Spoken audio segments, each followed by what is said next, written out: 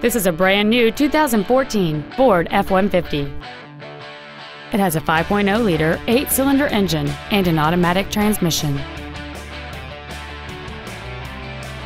Its top features and packages include a convenience package, a rear-view camera, power adjustable driver pedals, XM satellite radio,